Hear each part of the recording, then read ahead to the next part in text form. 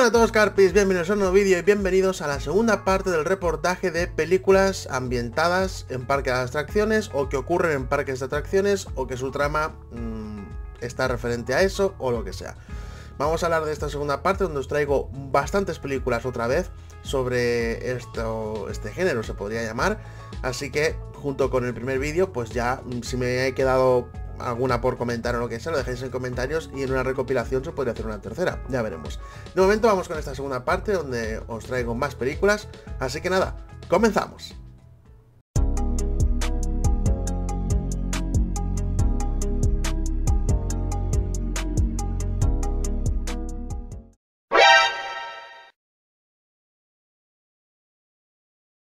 Ahora es el turno del Tito Rob, otra de las que hablé en el especial de Halloween, la casa de los mil cadáveres. En este caso he decidido añadirla por el gran personaje de Sid Ike, el capitán Spaulding.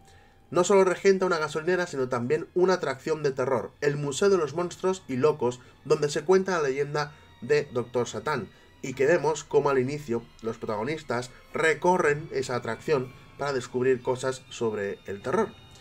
La Casa de los Mil Cadáveres es una película de terror con comedia negra del 2003, escrita, compuesta y dirigida por Rob Zombie en su debut como director, y la primera de la saga de la familia Farfly.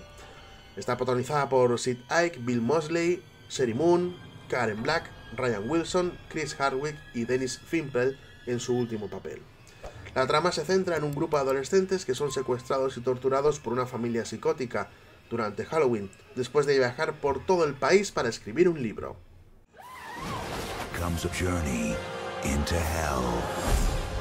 This can't be real. This can't be real. This can't be real. House of a thousand corpses. Pasamos de la Casa de los Mil Cadáveres a la Casa de los Miedos con la película House of Fears, película de terror del 2007 dirigida por Ryan Little. Está protagonizada por Corey Inglis, Sandra McCoy, Michael J. Pagan, Corey Seaver y Alice Gregson. La película fue lanzada directa a vídeo, en este caso directa a DVD, en abril del 2009 en Reino Unido. Dead Central le dio a la película una puntuación de 1,5 sobre 5, haciendo una panorámica de los personajes insulsos de la película y la falta de sustos. Bloody Disgusting también le dio a la película una crítica negativa, escribiendo, en general, esta es una película que, a pesar de tener una historia genial, tiene un guion terrible y una dirección igualmente terrible.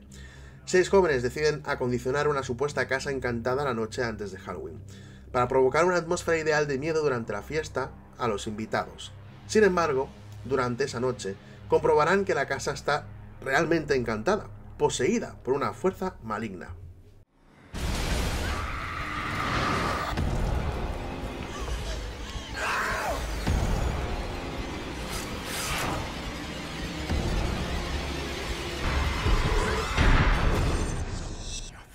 Otra casa más, House on Haunted Hill, del año 1999.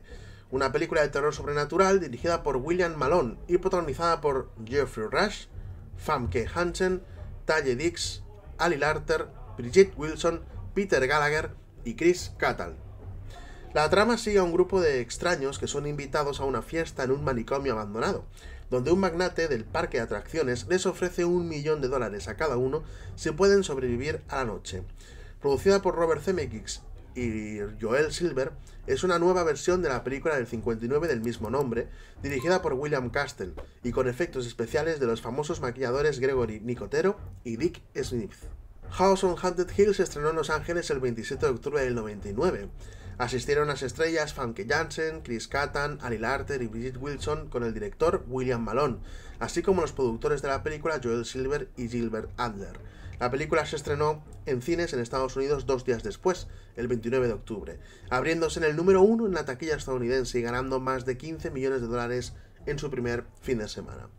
En 2007 se lanzó una secuela directa a vídeo titulada Return to House on Haunted Hill, donde Sarah Wolf es la única superviviente de la masacre de la mansión de Banacud. Nadie cree en la versión de Sarah de lo que ocurrió en esa casa, que hace responsable de los espeluznantes asesinatos a los espíritus malignos que poseen la casa. Su reciente y cuestionable suicidio deja a su hermana Ariel sin otra opción que encontrar quién o qué ha sido su asesino o responsable de conducirla a que se suicide. Ariel descubre que Sara le envió el diario del sádico Dr. Banakut, justo antes de morir, lo que la convierte en el principal objetivo del asesino, encabezado un grupo de nuevas víctimas que regresan a la mansión Manakut.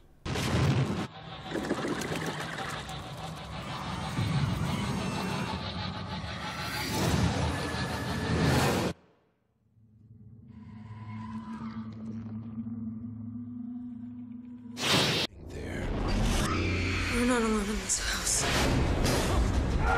will be more terrifying than anything you can imagine. Return to Vamos con Scare Zone del año 2008, una peli de 88 minutos escrita y protagonizada por John Binkowski, Arian Ash, Chris Barnes, Neil Brown Jr., Simon Needham, entre otros. Scare Zone es el orgullo y la alegría de Oliver. En realidad no es más que otra casa de los horrores de Halloween, pero él ha puesto su corazón y el alma durante años en ella. Este año se dispone a inaugurar Escape Zone 3, el Psycho Splatter Rouse Topsy Massacre Dungeon, un espeluznante laberinto victoriano que ofrece a sus visitantes sus mejores escenarios. La sala de amputación, el aseo del terror, la novia del vampiro, con un pequeño bebé vampiro incluido monísimo, y por supuesto un encuentro final con la motosierra que maneja Pumpkin Carver.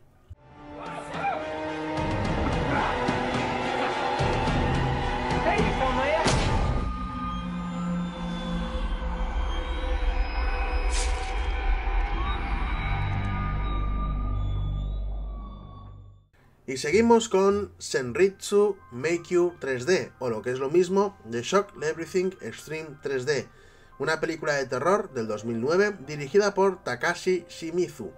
El film nos cuenta la historia de un grupo de adolescentes que se reencuentran con una amiga desaparecida hace una década. Cuando la chica cae inconsciente la llevan al hospital, pero acabarán atrapados dentro de una laberíntica casa encantada.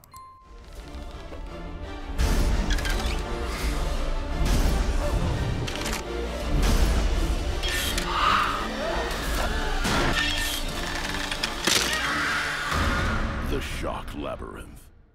The Fun House, también estrenada como Carnival of Terror y La Casa de los Horrores en España, una película de 1981 dirigida por Top Hopper, escrita por Larry Block y protagonizada por Elizabeth Berrich, Kevin Conway, William Finlay, Cooper Huckabee, Miles Chaplin y Sylvia Miles.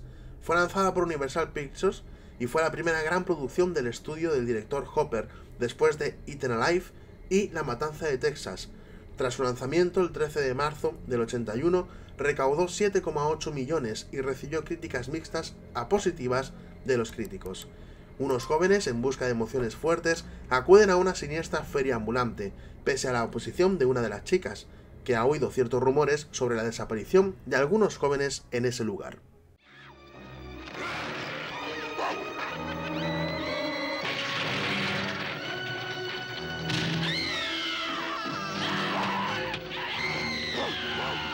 Funhouse, coming soon from Universal Pictures. Y de Fan House pasamos a otra Fan House, en este caso de Fan House Massacre, del año 2015, un slasher protagonizado por Robert Englund, Jer Vance, Scotty Thompson y Clint Howard. La película se hizo en gran parte en el verdadero parque Land of Illusion Haunted Scream en las afueras de Middleton, Ohio. La película tiene una recepción positiva en Rotten con una calificación positiva del 69% basada en 13 críticas. Tras escapar de un manicomio que permanecía encubierto por el gobierno, seis de los más peligrosos psicópatas asesinos en serie del mundo van directos a sembrar el caos entre unos jóvenes que están disfrutando de la fiesta de Halloween.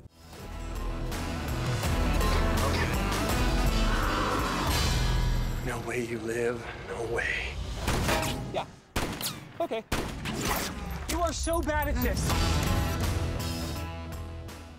Es el turno ahora de The Houses October Build del año 2014. La película utiliza el metraje encontrado para crear esta, esta peli y es el debut de la dirección de Bobby Roe. Fue producida por Zach Andrews y Stephen Snyder. Roe y Andrews protagonizan la película junto a Brandy Skyfer, Mike Rowe y Jeff Larson. La trama de la película sigue a cinco amigos que emprenden un viaje por carretera en busca de las atracciones de una casa cantada y se encuentran en el objetivo de un misterioso y perturbado grupo. La filmación de esta película se llevó a cabo parcialmente en varias atracciones de casas embrujadas, que Rowe incluiría más tarde en una lista de las casas embrujadas más aterradoras de Estados Unidos, que lanzó como material de marketing para esta película. La película se estrenó en cines de forma limitada el 10 de octubre del 2014 y se lanzó como vídeo casero el 6 de enero del 2015. En septiembre del 2017 se lanzó una secuela, The Houses October Build 2, también dirigida por Rowe y que retoma parte del elenco original recuperándose del trauma de haber sido secuestrados en el pasado Halloween por Blue Skeleton, un grupo que lleva las apariciones extremas a otro nivel. Cinco amigos deciden enfrentarse a sus miedos visitando otras casas encantadas, hasta que hay indicios de que Blue Skeleton vuelve a estar cerca de ellos. It's Halloween. We go home tomorrow. Hey, wait up! Wait up!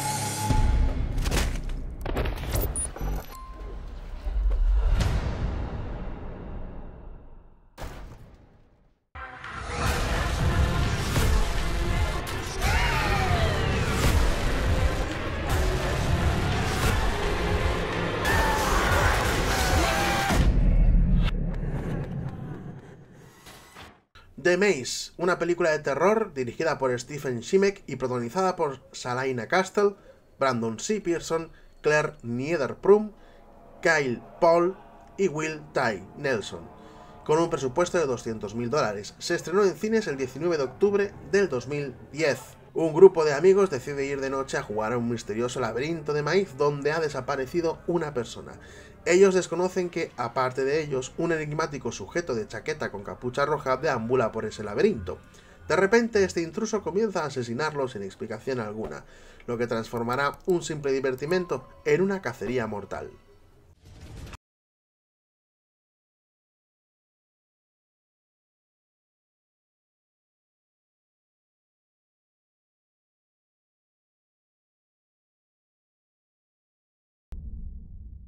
Y terminamos en The Scar House, una película de terror canadiense de 2014 dirigida por Gavin Michael Both.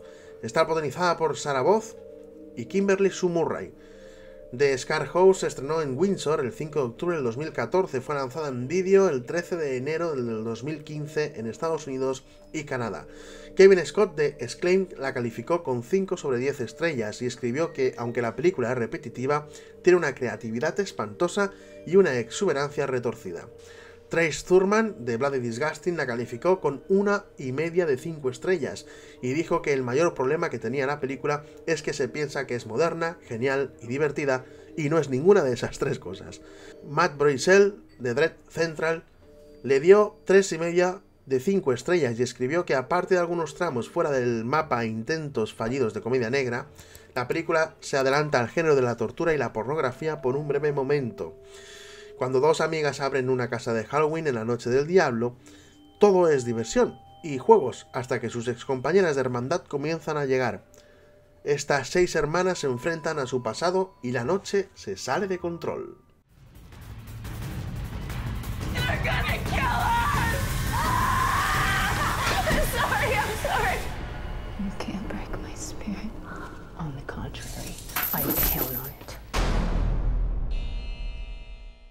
Y hasta que llegamos hoy, esta ha sido la segunda parte del reportaje sobre las pelis parques atracciones.